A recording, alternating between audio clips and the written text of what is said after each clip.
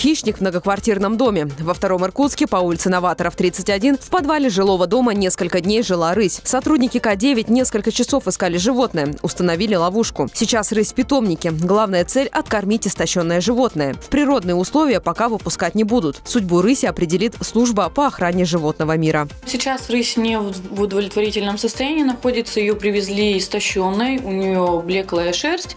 А, истощенное состояние. Этого не видно визуально, так как у нее густой шерстный покров, но все-таки по, при пальпации прочувствуются ребра и косточки все. И наша главная задача сейчас ее откормить, стабилизировать. Ей провели дегельминтизацию э, перед вакцинацией.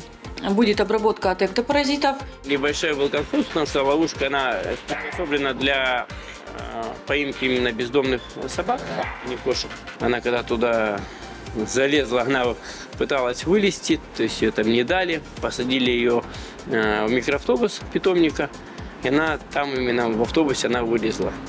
Пришлось быстро покинуть машину, закрыть ее. И только один вариант был, это то, что вести эту машину в клапан.